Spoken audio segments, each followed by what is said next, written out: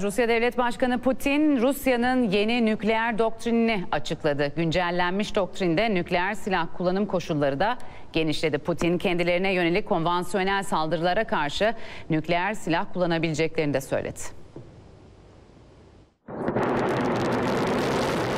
Moskova yeni nükleer doktrinini açıkladı. Nükleer silah kullanım koşullarını genişleten güncellemenin detaylarını Rusya Devlet Başkanı Vladimir Putin aktardı.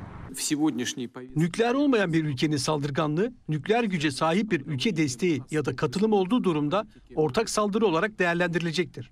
Yeni doktrine göre Moskova'ya karşı konvansiyonel füze saldırıları da nükleer silaha başvurmak için bir koşul olarak kabul edilebilecek. Rus topraklarına yönelik yoğun füze atışı, savaş uçağı ve drone saldırısı tespit edildiği halde bu da nükleer silah kullanımı ihtimalini doğurabilecek.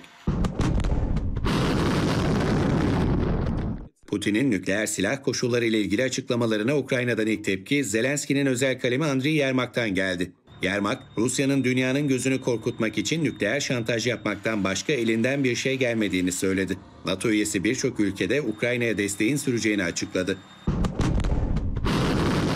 İkinci Dünya Savaşı'ndan bu yana nükleer silah sahip ülkeler caydırıcılık politikasıyla hareket ediyor. Bu politika nükleer silah sahip bir ülkenin diğerine yönelik nükleer saldırısına karşı tarafın aynı şekilde karşılık vereceği ve iki tarafın da tamamen yok olmasıyla sonuçlanacağı esasına dayanıyor.